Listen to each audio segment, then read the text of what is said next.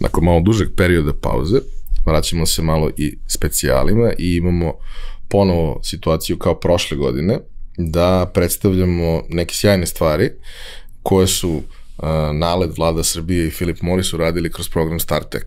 Ove godine je treća generacija i uh, odmah da kažemo prijave su otvorene do 3. maja, tako da još uvek imate vremena da se prijavite, da prijavite svoju biznis ideju ili biznis za, za neki od grantova, ali prošle godine smo imali neke sjajne priče i generalno dosta toga dobrog se izrodilo iz svega toga, a posebno je interesantno što za razliku od većine nekih sličnih programa koji postoje u različitim oblicima, ovo je fokusirano na tehnološko preduzetništvo, fokusirano je na inovacije, što znači da te ideje, ok, možda nemaju toliki procenat uspeha kao one ostale, ali one koje uspeju zaista menjaju društvo i menjaju svet, tako da svaka čast na tome. E, sad, Uroše, treba nam malo više informacije o svemu tome, pa bih te molio da podeliš sa nama šta je Startek priča bila od početka do, do danas. E, hvala Ivane, hvala na ovim lepim rečima. Ovo, evo, Startek gura već treću godinu polako, Dakle, ovo je treća, treća godina, treći javni poziv je objavljen e, Startek konkursa, kao što si rekao, za, za tehnološki preduzetnike, za tehnološke kompanije koje se bave inovacijama, koji žele da u svoj biznis i u svoje poslovanje uvedu uh, digitalnu transformaciju, automatizaciju koja će im kasnije dakle, omogućiti i olakšati što proces poslovanja, što unaprediti poslovanje, dodati novi prihod, income koji će na kraju krajeva sutra doneti to da, da još više ulažu i u R&D, i u istraživanje, u, u razvoj, ovo kako bi eto što više naših kompanija, startupova bilo preusmereno na inovacije i na to da da, da, da, da, da donose neke dobre nove usluge, nove robe koje će svima nama koristiti u svakodnevnom životu pre svega, ali naravno i, i u poslovanju. Startek, kao što, kao što sam i rekao, dakle ove godine objavljen je treći javni poziv, 3. marta, do sada smo imali dve generacije iza nas koje, gde smo dodelili 57 grantova ukupno, u prvom ciklusu 29, u drugom ciklusu 28 i evo polako, polako pristižu prijave, stvarno evo imali smo do, do 7. aprila bila prijava za pomoć u pisanju aplikacije gde smo dobili stvarno skoro duplo veći broj aplikacija nego prošle godine i evo sada nadamo se da će do, do 3. maja stići, stići još dosta dobrih a, predloga ideja, tako da kao, kao, kao što si rekao do 3. maja je otvoren javni poziv i nakon toga krećemo polako u selekciju, dakle kroz tri kruga selekcije i eto već krajem godine nadamo se oktobra da, da ćemo imati i taj treći, te treći odabrani um, kohort grantista gde ćemo imati, nadamo se, preko 20 ponovo kompanija koje će dobiti grant. Uvek postoji taj moment sa, sa ljudima koji su to prošli, neki od njih znam i sve, da oni kad se sretnu negde, mm -hmm. oni su klasići, oni su generacija. To je, to je nekako presimpatično kad vidiš da. u suštini svakome je, bez obzira na prethodno iskustvo koje je imao, neki su imali veliko, neki nisu imali nikakvo, taj proces im je bio vrlo vredan i značajan, jer on suštinski iako uz određene izmene, simulira ono što će ih čekati nadalje kada budu pičovali svoj biznis ili ga prezentovali Tako. kome god, od, od banaka do investitora, do partnera, kupaca i svih ostalih. E sad, ono što, što bih volao, pomenuo si neke brojke, ja mnogo volim brojke, ja da pamtim te brojke i to me opterećuje, ali takav je život. Uh, volao bih da malo napraviš neki pregled uh, u kojim nišama, uh -huh. u mhm. kojim specifičnim industrijama je bio najveći broj projekata i možda da izdvojiš neke od njih uh mhm. -huh. koji su posebno bili zanimljivi i interesantni. Evo, ovako, to je nešto što i mi volimo, čime volimo da se bavimo u suštini, da bi pravili neke analize, ovo, pre svega i zbog nas, ali naravno i da vidimo u suštini gde se nalazi naša startup scena, gde se, gde se uglavnom najviše, gde najviše ideje, dakle, dolazi, pa pre svega, mislim, ono što je najvažnije, da kažemo, taj neki najveći broj, da je preko 430 aplikacija došlo u ova sama dva ciklusa, ne računajući ovi treći, uh, od čega, dakle, imamo 57 grantova, najveći, da kažem, najveći procenat aplikacija koje smo mi, gde smo mi dodelili grant, pre svega dolazi naravno iz područja veštačke inteligencije i mašinskog učenja. Dakle, tu je negde oko 40% aplikacija, dakle nekih 22, 23, 22, 23 kompanije koje se bave, dakle da u svom, da u srži svog projekta imaju i sadrže veštačku inteligenciju ili mašinsko učenje, ali ono što su neke oblasti koje odakle najviše dolaze, na, na, odakle najviše dolaze projekti jesu pre svega medtech, biotek i poljoprivreda. Dakle, te tri oblasti nekako su trenutno najviše zastupljene i mogu da kažem da stvarno dosta proizvoda imamo, što proizvoda, što usluga, što robe, da dolazi ba upravo iz, iz te oblasti. Naravno, mislim, pored toga imamo i, imamo i proizvode, odnosno usluge ili robe koje se bave i Eh, da li to bila hemija, tehnološki razvoj, mašinstvo, elektronika, dakle eh, to sve sve naravno predstavlja nekih 10 do 15% ukupnog eh, broja dodeljenih grantova, odnosno procenta, tako da da stvarno ima možete zaključiti da stvarno dosta je širok spektar, ali to je uglavnom negde do sada ono što, što je pristiglo i verujemo da će i u ovom trećem ciklusu biti uh, u tim oblastima najviše, najviše projekata koji će, koji će uglavnom što se prijaviti, što na kraju dobiti grant, ali dobro to je sve naravno i u odnosu na to u, i u zemlji i u regionu u kojoj živimo i u, u suštini gde ljudi vide najviše potrebu da treba da inoviraju da bi unapredili svoje biznise ili da bi pomogli drugom da unaprede svoje poslovanje i život pre svega.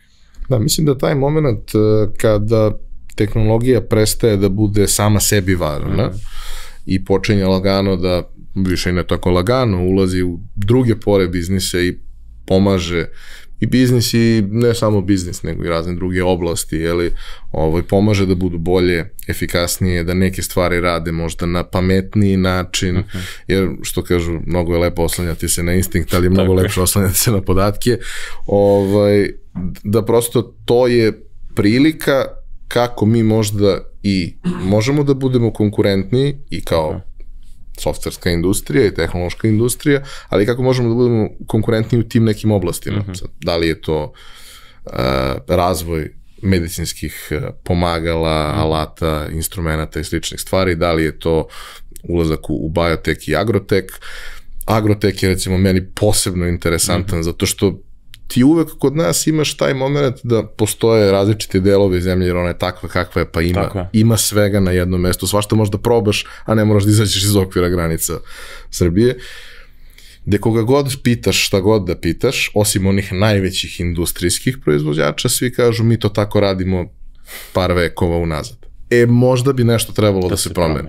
Znači, ja često kažem, kad, kad pričamo to, najveća trauma svakog preduzetnika je, koji trudi se da bude modern i prati sve, da dođe kod nekog, nečijeg knjigovođa i da mu on kaže, mi to tako radimo 30 godina.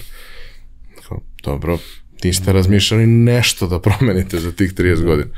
Ali dobro, kažem, sve, sve te stvari lagano odlaze u istoriju, kroz prethodnih nekoliko godina shvatili smo šta sve može da se digitalizuje i da bude bolje zahvaljujući tome što, što ćemo neke stvari moći da merimo, ispratimo, analiziramo i na osnovu toga donosimo neke odluke. E sad, ono što je specifično, često ljudi misle, kada sam pričao sa nezavisnim posmatračima, ljudi misle da StarTech zapravo služi samo isključivo za, za one najmanje grantove mhm. koji se daju faktički na nivou biznis ideje ili malo više od biznis ideje, ali to nije tako, postoje tri tako. lota i ok, u onim većim lotovima imam obično manje grantista koji su dobili nešto, ali svaka od tih priča je, je interesantna.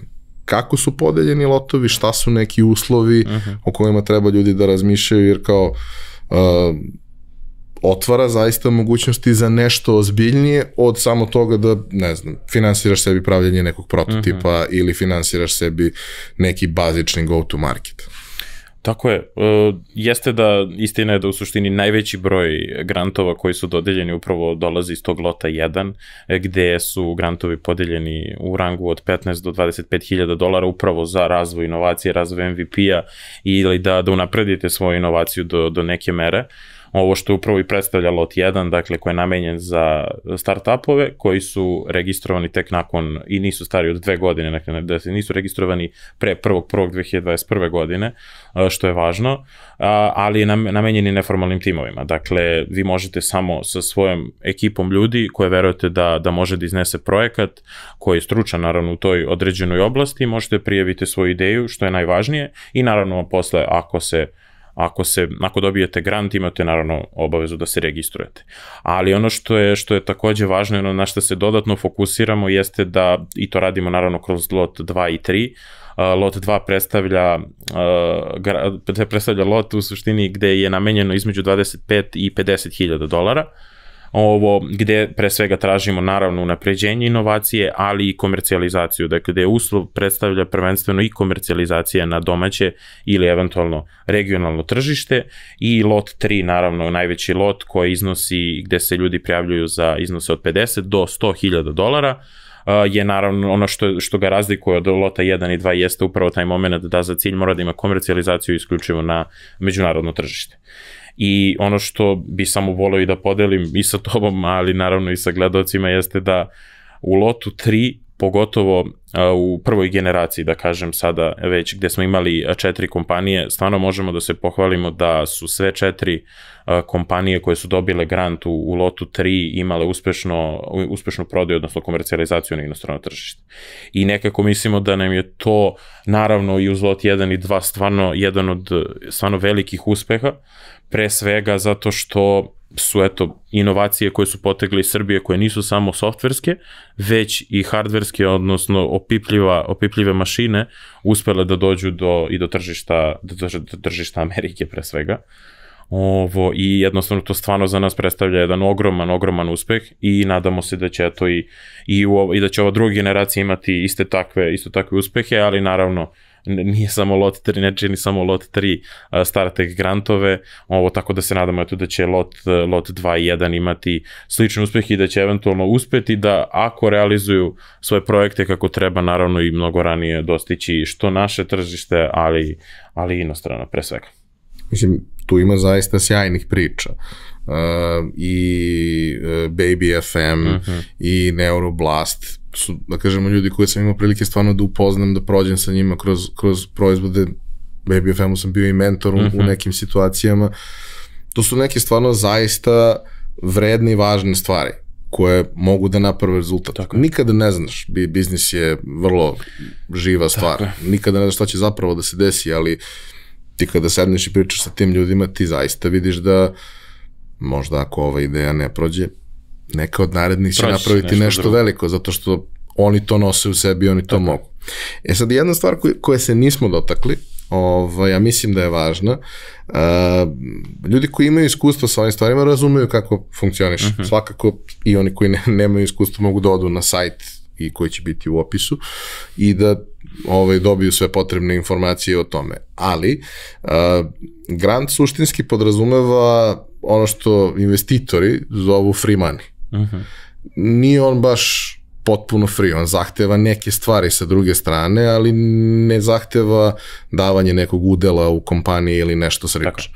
Šta zahteva? Šta su stvari koje su preduslovi koje bi trebalo da ispune uh mhm. -huh. biznisi koji se prijavljuju za svaki od lotova?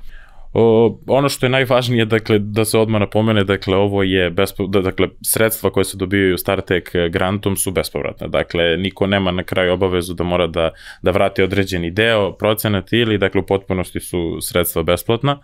Ono što, što je obaveza svakoga ko dobije grant, a naravno to stoji, dakle vidit će ljudi na sajtu, za svaki od lotova postoji deo učešća koji mora da, da, da priloži u suštini uz taj grant koji je dobio. Tako da, na primjer, uz grant od 25.000 dolara koji ste dobili u lotu 1, vi imate obavezu da uložite 10%, minimum, dakle da bi celokupan projekat iznosio u tom trenutku 25.000 plus 2.500, 27.500 i to vam bi ukupan budžet za ceo projekat u lotu 1. U lotu 2 za grant, na primjer, dobijen 40 ili 50.000, vi uložete na 50.000 dodatnih 10.000, što predstavlja ukupan budžet od 60.000 i na lot 3 ako imate 100.000 grant koji ste dobili, vi ulažete minimum 30%, dakle da je ukupan procenat projek, dakle ukupan iznos projekta 130.000. Ono što je važno, dakle da, da svi projekti naravno pre, u samom, u samom momentu aplikacije, imaju, imaju mogućnost da napišu svoj biznis plan, da, da predvide kako će izgledati njihov budžet, šta žele, na šta žele da troše novac, da li to bilo ljudski resursi, marketing, kupovina robe, kupovina ili angažovanje određenih e, eksperata u određenim oblastima, Um, jednostavno to su neke stvari koje oni mogu da imaju e, priliku da, da, da u svojoj aplikaciji napišu, ali ono što dodatno radimo je da s obzirom da se grant, odnosno ugovori potpisuju i isplaćaju novac tek negde u oktobru, novembru, imaju prilike da, da pre potpisivanja ugovora zajedno sa nama i sa našim ekspertima revidiramo budžet i da u odnosu na, na situaciju koja je naravno šest meseci u odnosu na aplikaciju, to prilagodimo uh, trenutnoj, trenutnoj situaciji i nakon toga kad se potpiše ugovor, dakle njihova obaveza, odnosno obaveza svakog ko aplicira i dobije grant jeste da pre svega ispuni sve indikatore koje smo naveli u u, u određenim u, ugovoru pre svega i to je, to je nekako najbitnija stvar koju oni moraju da ispune. E sad, ono što naravno nigde ne postoji nikakva obaveza gde sada kažemo naravno niko ne može biti siguran na naravno u današnje vreme da će se to ostvariti, ali neka naša neka naša priča do sada i neka naše iskustvo je da stvarno iz prvog ciklusa grantova nismo imali neke neke loše priče da kažemo da je neko odustao od projekta ili da je rekao mi nažalost nećemo uspeti. Tako da eto, za sada to ide vrlo dobro. Uh, ono što bih volao da napomenem je stvarno da mi sa svim grantistima, svim, svim dobitnicima grantovima stvarno radimo svakodnevno. Dakle, uh, pružamo priliku da naravno u odnosu na neke situacije koje se dešavaju pre svega na globalnom nivou, a znamo da su se dešavale naravno, uh, pre svega izađemo i pomognemo Dakle, ako postoji situacija koja je jednostavno takva da, da pogotovo, na primjer, u dopremanju određenih stvari iz inostranstva sada je potrebno mnogo više vremena, dakle, izlazimo u susret i gledamo da što više pomognemo i da budemo što fleksibilniji, da naravno taj novac pre svega bude potrošen na pravi način i da jednostavno svi uh, imamo na kraju benefit od toga, pre svega sam korisnik granta da, da može da ostvari projekat, ali i da, da, da unapredi ili dođ, do, dovede tu svoju ideju do, do, do e, projektovanog stanja koje on želeo ili naravno nešto više od toga uh, i nadamo se to da, da na taj način pomažemo svima, da, da tim načinom što smo fleksibilni pomažemo da se dođe do, do, do samog e, kraja i da se eto ti projekti ostvare na način na koji je potrebno da se ostvare. Da se ostvare,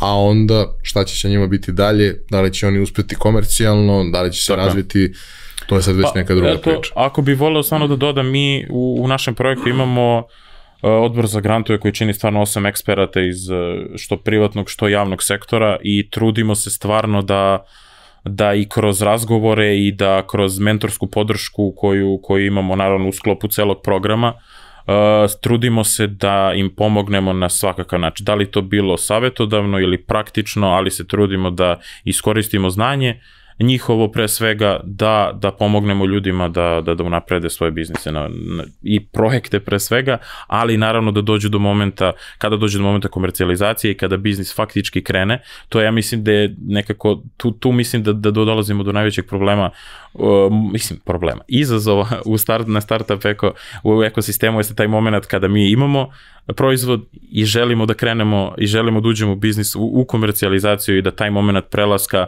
od, dakle, faktički samog razvoja ideje ka komercijalizaciji, da tu treba najviše pomoći i trudimo se da u tom segmentu stvarno dosta pomažemo svima koji, koji su dobili grant. Prošle godine smo imali neke zanimljive priče koje smo predstavili. Ove godine ćemo takođe imati neke zanimljive priče. Volao bih da najaviš ko nas mhm. očekuje u drugom delu ove epizode uh i ko mhm. nas očekuje naredne nedelje. Tako je, u drugom delu ove epizode, dakle imat ćete priliku da čujete jednog od naših grantista iz drugog ciklusa, to je kompanija kompanija, odnosno startup Artifit i imat ćete priliku da čujete Željko Vojinovića kako govori o svom, o svom startupu i o svom, svojim proizvodu, odnosno uslugama koje, koje oni nude, a kasnije ovo, eto, imat ćete priliku da čujete i dva veoma interesantna projekta koji, koji se tiču pre svega veštačke inteligencije, to su startup DeepNets koji se faktički prijavio sa idejom, odnosno samo kao neformalni tim i uspeli su da dobiju grant, a takođe i predstavit ćemo jednog mladog inovativnog, e, to je mladu inovativnu kompaniju koju, koja je isključivo vođena od strane a, mladih ljudi koji su evo upravo tek završili fakultete, to je ekipa sjajna petoro a, mladih momaka koji, koji su završili fakultete u inostranstvu i odlučili da se vrate i, i odlučili su da naprave nešto, nešto veoma korisno, odnosno kompanija se zove Red Tech i govorit će o svom sign avataru, ovo tako da eto imat ćete prilike stvarno čujete veoma interesantne projekte, to je nešto o njima. Uroše, hvala ti, prelazimo na naredni deo. Hvala tebi.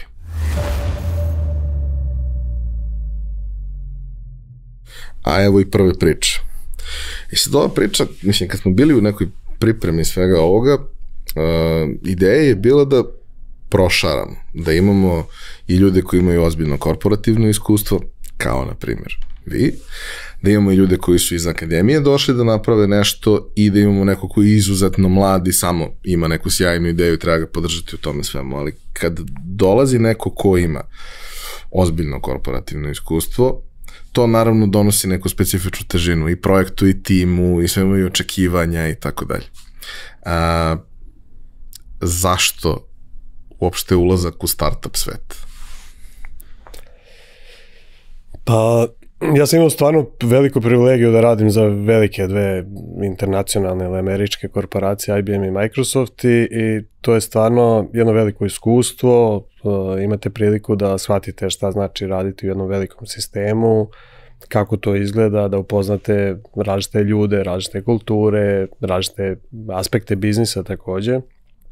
I godinama vas to gradi prosto i, i, i moj lično cilj uvek u poslu je bio da nekako idem sve više i više i dalje i dalje, jel? da preskačem ovaj, eh, veće visine. I ono što, ono što je problematično u, u, u, u poslovnom segmentu jeste kad se vi, kad dođete u neku komfort zonu, jel? i prosto iz te komfort zone da biste išli dalje morate nešto promenite. Jel? I ja sam godinama razmišljao, gledajući, naravno prateći šta se sve dešava na tržištu, trendove i tehnološke, ali prosto i potrebe korisnika i tako dalje. I onda između, između toga uh, pojavljaju se tu raznorazne ideje i, i, i da bi se te ideje, ideje realizovale, da bi ugledale svetlost dana, prosto to nije part-time posao i zahtevalo je potpunu posvećenost i angažman i sa moje strane i sa strane mog kompletnog tima koji radi na, na proizvodima koje, koje mi danas pravimo i tako je nastao Artifit. Jel? Artifit je ove godine proslavio dve godine, ja bih rekao, uspešnog poslovanja i mi idemo po, po nekom svom zacrtanom planu, odnosno ideji koju mi želimo da realizujemo. Mi, mi danas pravimo nekoliko proizvoda i ti proizvodi će vremenom da, da ugledaju svetlost dana. Uh, raditi u korporaciji ili u korporacijama kojima sam ja radio, sa, kao što sam rekao, to jeste privilegija i vi nosite jedan ozbiljan brand pored svog imena. Željko Vujinović, Microsoft ili Željko Vujinović, IBM, ovaj, nekako ta, to Microsoft i IBM je uvek veoma zvučno, mislim, osim u slučaju moje majke, ali njoj je ovo zvučnije ovaj prvi deo. Ovaj, e sad kad kažete Željko Vujinović Artifit, sad je malo, ovaj, ovaj prvi deo je trenutno zvučniji, ali cilj i ono zbog čega mi radimo i ono što želimo da ostvarimo upravo da Artifit postane ozbiljan brand, tako da sutra taj Željko ili bilo ko ovaj, postaje nebitan, postaje bitno, bitno Artifit i mislim da smo mi na pravom putu.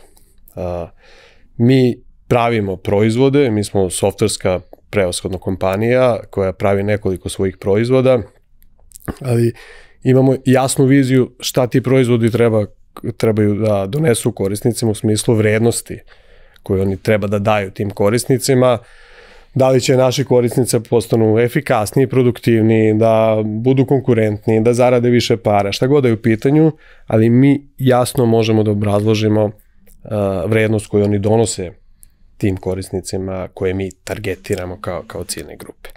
Tako da, za mene lično uh, biti startup, mada ja lično i ne volim baš taj termin startup, ali ovaj, uh, uh, imati mladu kompaniju jeste stvarno izazov i nije komfort zona.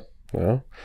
Uh, izazov koji je za mene lično i uživanje, jer prosto mi verujemo u to što radimo i verujemo i znamo da ćemo da uspemo. Uh, s druge strane je velika i odgovornost, ja? Odgovornost i prema kompaniji, prema svim ljudima koji sačinjavaju danas ovaj, tim Artifita, uh, ali prosto kad pogledate sad, evo mi smo proslavili pre neki dan dve godine i kad pogledamo iza sebe, mi vidimo konkretne rezultate i, i vidimo da idemo po planu koji smo mi sebi zacrtali.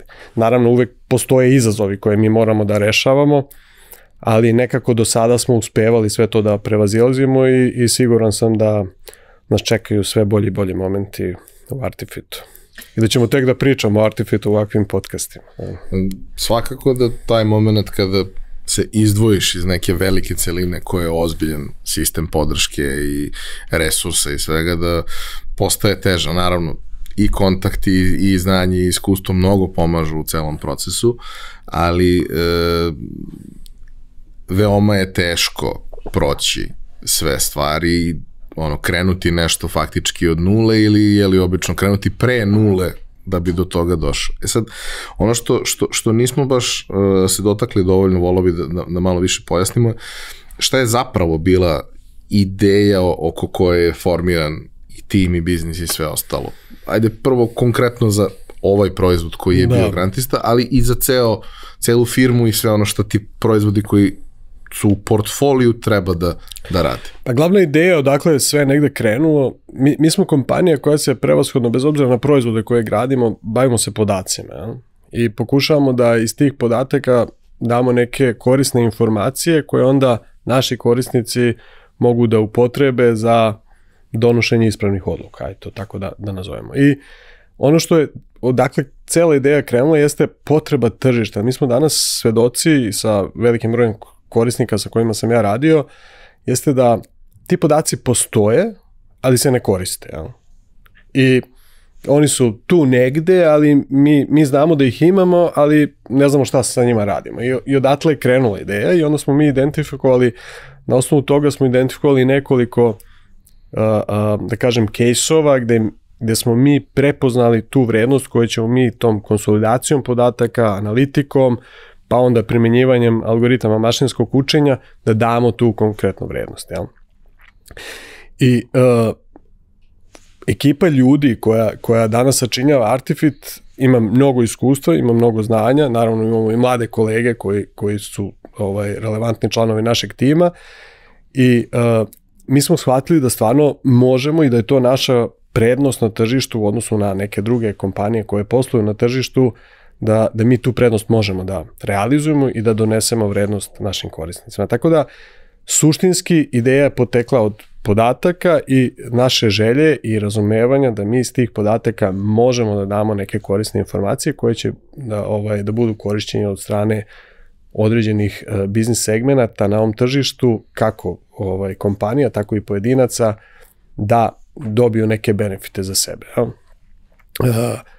negde u, u osnovi leži uh, realno platforma koja, koja vrši konsolidaciju podataka iz različitih izvora, jer to je ono što je danas najveći problem. Ja kažem, ja, ja, iako, mislim, mi jesmo start-up, nisam baš veliki fan ovaj, uh, tog termina uh, iz razloga što mislim da je dosta zloupotrebljen, da ljudi imaju pogrešnu percepciju toga. Mislim, uh, Uh, najčešće kad kažete start-up, onda iza toga treba stoje uh, uh, tri, četiri čoveka bez nekog iskustva, što je svakako uh, relevantno, ali njima treba pomoć da nauče šta znaju. Vi ste rekli sad, imati malu kompaniju ima mnogo izazova, jer prosto nemate sve sisteme koji vas prate, nemate financije, nemate marketing, nemate šta god, nemate R&D, sve je to, da kažem, u jednom.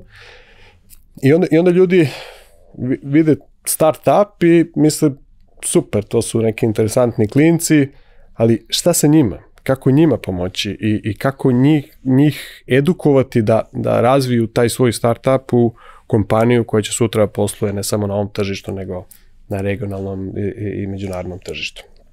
Postoji taj moment ovaj, gde, recimo, moja prva asocijacija koja apsolutno se ne odnosi na sve, nego na samo jedan deo ljudi koji su tim pričama, ovaj, jeste da vrlo često startup uh, ne podrazumeva odgovornost, što je jako važno. Ti praviš neki proizvod koji u principu radi i u principu nije loš i sve. Sad, to je okej okay da ti nešto testiraš i ti si mladi, učiš se kroz to i ali je vrlo teško sad nekome kome zavise neke bitne stvari u životu, da li je to posao i, ili je nešto drugo, da sad kaže, ok, ja ću da uzmem ovo rešenje, pa e, ću da pustim da se to rešenje usavršava zajedno sa, sa nama i sve. To može, ali pod uslovom da ti od starta veruješ da ta priča ima svog smisla i da, i da ti ljudi koji to rade znaju šta rade. Da nisu samo talentovani, nego su ljudi profesionalci koji znaju šta rade i hoće da nauče da budu bolji i da bolje razumeju i da se bolje uklapaju. Uh, ono što, što, što je negde problem kog ste se i vi dotakli je taj moment da uh, postoji izobilje podataka, ima ih više nego ikad, što ne znači da imamo sve što nam treba. Daleko. Ali imamo mnogo toga. I to je onaj stari problem kako korporacije rešavaju uh, ovaj, tužbe uh, malih uh, upita. Pošto dostavite nam sve podatke i oni dostave sve podatke i dobiješ kulu od papira koju nikada ne možeš da procesiraš i nikada ne možeš da izađeš na površinu svega toga. Ovaj, jeste ključna stvar u tome svemu naći ono što ima smisla, strukturirati, napraviti od toga nešto gde ti na osnovu podataka, informacija koje dobijaš, nekih spoljno dostupnih informacija koje ukrstiš, dobiješ neke uvide koji su za tebe bitni. To ne znači da ćeš da doneseš dobru odluku, jer na kraju ipak čovek donosi odluku. Apsolutno da. Ali ćeš imati, um, uh, bit ćeš mnogo više kvalifikovan Informisan, od strane da. podataka i, i, i informisan da tu odluku doneseš. E sad, uh, zašto ulazak u, u StarTech priču? Zašto ulazak u StarTech priču? Pa, e, dve, dva, dva su segmenta koje nama StarTech uh, uh, donosi. Ovim putem ja želim stvarno da se zahvalim i, i Naledu i, i, i, i, da kažem ovom projektu StarTech koji je podržan od strane Philip Morris i mislim da je dobar primer uh, uh, pomoći upravo mladim kompanijama da te neke inovativne ideje ugledaju svetlost dana. Ta pomoć je neophodna, a, jer da bi ideja ugledala svetlost dana, mora više kockica da se sklopi. Jedna, stvar su ljudski resursi i znanje koje mora da se, da se skoncentriše u jednu tačku, a onda prosto vreme je tu faktor da bi, da bi se nešto desilo i da bi, da bi se generisao neki rezultat. Uh, s druge strane, uh, uh, nama su dva elementa uz, kroz StarTech program bitna kao kompaniji. Je, uh, prva stvar jeste visibility i promocija onoga što mi radimo i to je negde vezano sa onim što sam vam ja rekao u početku. Artifit treba da postaje brand i ovo je jedan od načina kako mi polako vremenom uh, uh, gradimo uh, svest o Artifitu, šta smo mi, ko smo mi, šta mi to radimo i na koji način to radimo. Dru, druga bitna stvar, bez ikakve lažne skromnosti, jeste podrška u finansijskom pogledu, jer da bi proizvod došao do, do neke faze komercijalizacije, potrebno je vreme, sve to zahteva određene financije koje moraju to da isprate, a da bi to vreme bilo što kraće, nama je svaka, svaka podrška uh, i tekako dobro došla. Tako da, mislim da je ovo jedan uh, odličan primer uh, podrške inovativnim idejama. Uh, nažalost, moram da kažem, nemamo mi mnogo takvih uh, vidova podrške uh, dostupnih u, našoj zemlji. Tako da uh, možda je ovo način da pozovemo i druge da prosto prepoznaju neki svoj interes i da podrže raznorazne inovativne ideje. Kolega Uroš je pričao o nekim segmentima koji su možda interesantni, ali svakako ja mislim da kompanije, velike kompanije i tekako mogu da da dobiju vrednost od, od, od, od ovakvih programa i od ovakvih ideja, zato što ta inovativnost mislim da u najvećoj meri dolazi upravo od malih kompanije, jer nisu opterećene sa nekim svojim legasijem, prosto uh, imaju otvorena, uh, otvorene misli u smislu kako se rešavaju neki problemi, inovativniji su jer prosto nemaju neke utabane staze koji moraju da idu, nego prosto sve je otvoreno i, i mnogo su kreativni u tom pogledu. Uh, mislim da veća podrška će takođe u startup sistemu da napravi sistem.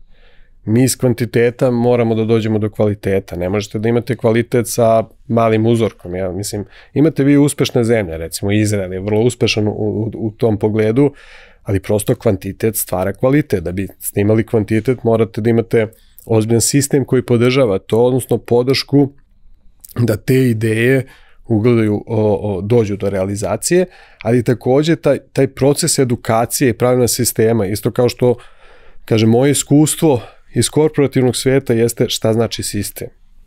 Zašto te kompanije, zašto IBM postoji 100 plus godina? Postoji sistem koji onda i u teškim vremenima je otpora na, na raznorazne izazove koji se susreću.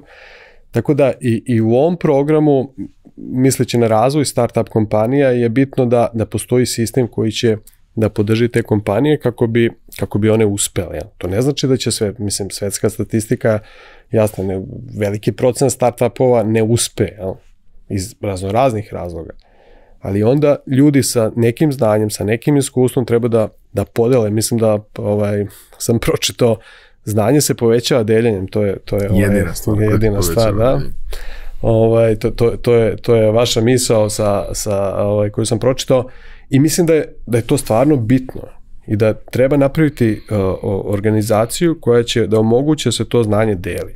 Jer zašto ja danas ne bi podelio svoje iskustvo, svoje znanja sa nekim mladim ljudima koji tek počinju? Da li ću ja njima da pomognem? Vreme će pokazati, ali da li ja imam želju to da uradim? Imam. I Nekima će da pomogne sigurno i odmah, neki će da shvate kasnije da im se to Neki negde možda složi. neće, ali ja to želim da uradim i ne mislim da je to, da ljudi trebaju u tom pogledu da budu sebični. Uh, mislim da, da svima protok informacija, mi smo u podacima i taj protok informacija, ja ću od njih nešto da naučim. Da, mislim da to svima Tako ide da, na ruku, da.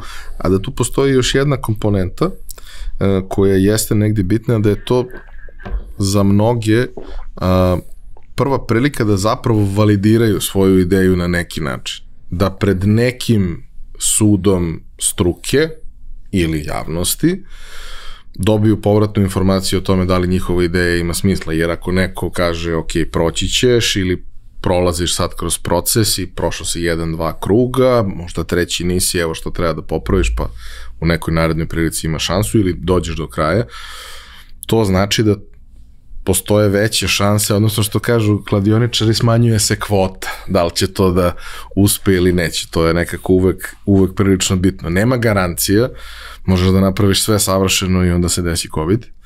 Nema garancija, ali ideja jeste da taj rizik bude proračunati da bude sve manji u celom tom procesu. Pa garancije ne postoje. Mislim, garancije ne postoje. Mislim da je bitno da, da se ljudi trude i da daju svoj maksimum datom momentu. Ono što je pomoć za tu energiju koju oni već daju, da je fokusiraju u, u pravom smeru. Ja? I mislim da onda ta navigacija u kom smeru treba da fokusiraju energiju, treba, treba im pomoći sa te strane, jer imati neku ideju, možda ona nije relevantna, možda nije zasnovana na dobrom poznavanju tog nekog biznis case-a koji to neko rešenje rešava ili kako god. I mislim da onda takav vid mentorstva ili podrške ili deljenja informacija, šta god je u pitanju, njima će pomoći da, da, da izaberu pravi smer i onda prosto energiju. A garancija ne postoji i to sreća, to može na lotovu i tako dalje, ali ja mislim da, da, da je uspeh rezultat angažovanja i truda koji je uložen u nešto. To nije srećka na loto, ja, izvukli smo sedmicu. Nego, prosto ako se vi trudite i ako verujete u to što radite, morate da verujete, to je prvi, prvi uslov. Ja, Ako ne verujete u to što radite, ne može da se desi uspeh. To, to, to, je, to je prvi preduslov i drugi preduslov jeste da dajete stvarno u svakom momentu maksimum uh, za sve što radite. I onda će, uspeh će da doći. Realizovat će se to. A, u kojoj ste vi fazi sada? I šta se dešava sa, da kažem, portfolijom? Šta još tu treba da bude od proizvoda? Šta su ideje? Uh, mi, mi, ako bih podelio na neke grupe, mi imamo segment proizvoda, segment proizvoda sad to zvuči kao da imamo portfolio od 100 proizvoda, nemamo, imamo uh, trenutno tri proizvoda koji su tu da kažem u, u razvoju, neki su pred samim završetkom i, i mi, naši proizvodi targetiraju da kažem ovaj business segment ja, korisnika, ali takođe uh, consumer segment korisnika. Svi proizvodi imaju, da kažem, u sebi implementirano ovaj, podatke, analitiku, razumevanje podataka i, i uh, uh, donošenje nekih odluka na osnovu podatka. Konkretno ovaj projekat koji je, uh, sa kojim smo mi aplicirali, odnosno proizvod sa kojim smo aplicirali uh, uh, kroz StarTech program, se bavi predikcijom proizvodnje električne energije iz obnovljivih izvora električne energije. Zašto to? Zato što uh, su, naravno, trendovi, green inicijative, veliki broj država podržava ovaj prelazak uh, na obnovljive izvore električne energije. Uh, a s druge strane, taj, taj sam proces proizvodnje nosi sa sobom dosta izazova. Uh, uh, jedan od najvećih izazova koji, koji nosi jeste predvideti upravo količinu energije koji će ti neki izvori, da li je hidro, da li su solar, da proizvedu, zato što vi na osnovu toga naravno planirate sve procese, a između ostalog morate da planirate dobro i, i sisteme koji će vrše prenos te električne energije da biste izbjegli neke pikove, jer ako zamislite solarne panele i ako je sunce i proizvodnja je maksimalna i onda dođe jedan mali oblak koji, koji se baš pozicionira između tih panela, proizvodnja će padne, naravno vi morate prilagoditi sistem da, da to odgovori. Dru, ceo taj proces kontrole to, to, tog procesa je vrlo bitan. Uh, mi imamo neke, da kažem, tri ciljne grupe koje se ovaj a, koje mi targetiramo s ovim proizvodom. Jedna jedna grupa jesu upravo ovi koji proizvode električnu energiju, druga grupa su kompanije koje se bave transmisijom, odnosno prenosom električne energije i naravno a, treća grupa su a, traderi koji trguju električnom energijom na, na tržištima ovaj i a, zašto je opet ovaj proizvod zato što a, postoje neka rešenja u svetu, ali u ovom regionu mali broj upravo kompanija iz, ovog, iz ova tri segmenta koja sam ja nabrojao uh, uopšte nema implementirano rešenja, a problematika i jeste najveća u toj konsolidaciji podataka, razumevanju procesa, znači uh, tehnologija je jedna stvar, naša, naše rešenje je koristi poslednje, poslednje tehnologije koje su dostupne na tržištu. Mi smo naše rešenje baziramo kao, kao servis, ja? nalaze se u cloudu, koriste mikroservise, sada ne ulazim u te, te tehnološke o, o stvari, arhitekturu. arhitekturu. Uh, uh, uh, i, I onda, ali ono što je potrebno pored te tehnologije jeste poznavanje, domensko znanje iz, iz segmenta energetike, odnosno konkretno u ovom slučaju iz obnovljivih izvora. Tako da smo mi okupili jednu relevantnu ekipu koja dobro poznaje tehnologiju, poslednje trendove koje se u tom segmentu dešavaju, ali takođe i, i, i ekipu koja, koja razume ovaj, ovaj domen obnovljivih izvora električne energije i, i onda je to dobar meč. Naravno, kažem, to je prvi preduslov, ja? Posle mi u paraleli naravno pričamo i sa nekim korisnicima, radit ćemo na promociji tog proizvoda kad se, kad se završi. Ono što sam rekao u startu, svi ti naši proizvodi ovaj, polako će postajati sobstveni, sobstveni brendovi. Imamo i druge proizvode, ovaj, mi, mi nismo u ovom agraru još uvek, iako je to hit, ali uh, imamo jedan proizvod koji je namenjen sportu, ovaj, to, to je jedan segment i tako, takođe ovaj, consumer segment u smislu a, nekih online servisa koje, koje, koje konzumeri mogu da dobiju. Dobro, i svega ovoga e, vraćamo se na onu staru inženjersku, nije važno da li je dobro ili loše, važno je da je predvidljivo. Uvek, da. E sad, na osnovu ovog iskustva iz prethodnog perioda, a i onog perioda pre toga i ovih poslednjih 20 godina.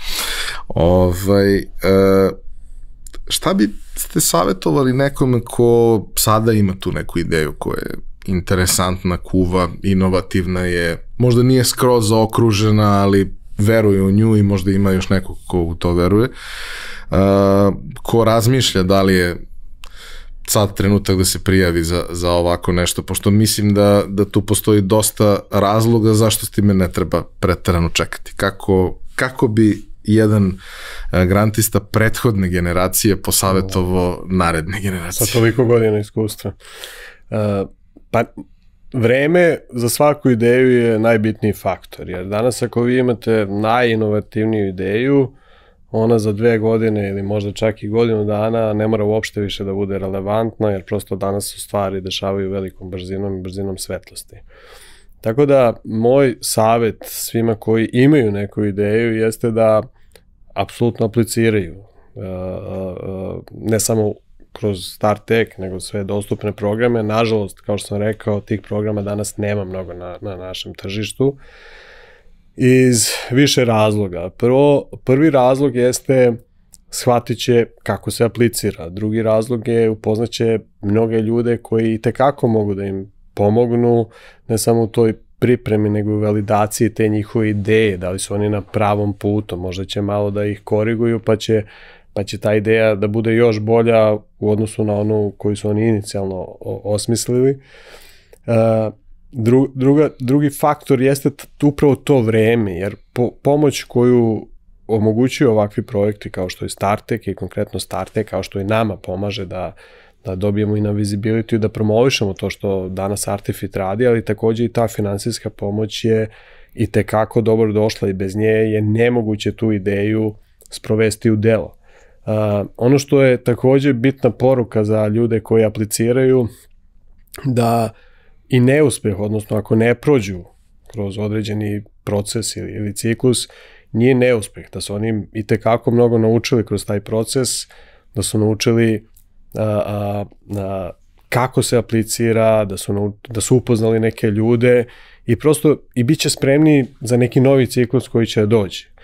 A, ako pobede, mislim da je to apsolutno win-win situacija, da će Startek da im pomogne da, da promovišu tu, tu ideju i da ubrza proces uh, same realizacije, tako da ja, ja mislim da niko ne treba da čeka, da uh, trebaju vredno da rade i da validiraju tu svoju ideju i da uh, jedino o čemu treba da vode računa jeste vreme i da budu maksimalno posvećeni pri realizaciji toga što su, što su osmislili. Tako da, sa moje tačke gledišta, bez obzira na to koje ste vi rekli, to, to uh, iskustvo i prethodno i prethodno i ne znam koje, uh, ne vidim ni jednu jedinu lošu stvar, tako da pozivam sve uh, ljude koji imaju inovativne ideje i mlade i ove sa iskustvom i sa malo manje iskustva i više iskustva da apliciraju, jer apsolutno uh, tržište je gladno za novim idejama, ima prostora na tržištu za, za raznorazne ideje, naravno ideje koje imaju smisla, koje donose neku vrednost, a siguran sam da upravo iz takvih timova ta kreativnost i nove ideje i te kako dolaze i da je to prostor da, da se oni pozicioniraju ne samo na tržištu Srbije, nego te granice u, u slučaju tih ideja postaju, postaju nebitne. Jel? Ali mora odnekud da se krene, a prosto najlakše je verovatno onda step by step, odavde. Nema previše vremena za, za ovu godinu. Rok je 3. maj, sve informacije imate u opisu, na linku koji se nalazi u opisu. U narodnoj epizodi ćemo imati još dve zanimljive priče grantista od prethodne godine. Možete da poslušate i specijal od prethodne godine, jer u njemu isto ima nekih zanimljivih priča. Uh, U svakom slučaju, uh, i za sva eventualna pitanja smo tu, možete pisati uh, putem sajta Starteka, možete pisati i u komentarima na YouTube-u, mi ćemo se podružiti da maksimalno brzo dobijete odgovore, ali suština negde jeste i ono što, što, je Željko rekao da je ovo sjajna prilika da vidite koliko to što vam pada na pamet ima smisla, da sjajna prilika da upoznate još neke ne tako obične ljude koji imaju neke ne tako obične ideje, pa ko zna šta će iz toga da se izrodi, možda neka sledeća priča bude bila realizovana zajedno, ovaj, ali svakako prilika da uh, stanete ispred ili iza nečega do čega vam je stalo i da vidite da li to ima prolaz uh, sa strane nekog ko, ko ima iskustvo, znanje i sa razlogom je doveden tu da ocenjuje i validira te ideje i kaže ok, iz ovoga želimo da stanemo, mislimo da ovo ima potencijal. Čak kao što i Željko kaže da ne uspete, to će biti verovatno najvrednije iskustvo koje ćete steći u životu i pokazat će vam šta sve može da se desi, ispratit ćete i sve ostale i sigurno će biti zanimljivo i, i, i dinamično. Um, hvala vam što ste nas slušali ili gledali. A, vidimo se ponovo naredne srede u narednoj epizodi specijala, a za sve informacije obratite se ovaj, YouTube-u i opisu koji se nalazi tamo, to će biti sve što vam je potrebno.